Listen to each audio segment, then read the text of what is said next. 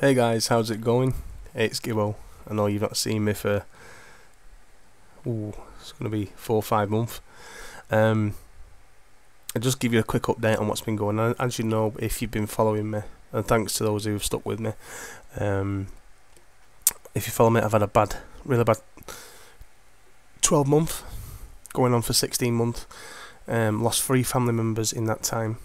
Uh, got made redundant from my job early last year so I was a bit down and I couldn't focus on what I was doing regarding the slimming side of things. Uh, but things have picked up in the past few weeks, so um, touch wood, everything is looking rosy now. So I am now going to be continuing my journey.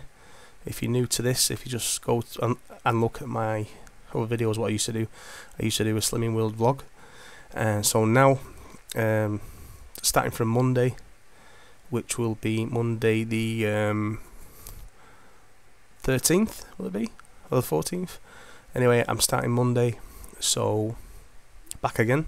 I've put on a stone and a half, which is £21 uh, from my last video of the weighing, uh, which was um, March sometime, something like that.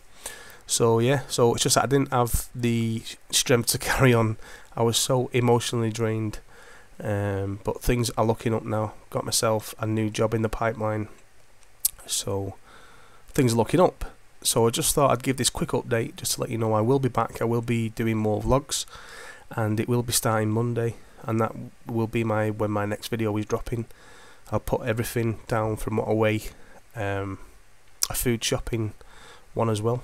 Let you know what I pick up from the local supermarket so yeah, I'm looking forward to it as well. So thanks again for those who stuck by me, and uh, the videos will be continuing um, as from Monday of next week. So thanks guys, and God bless.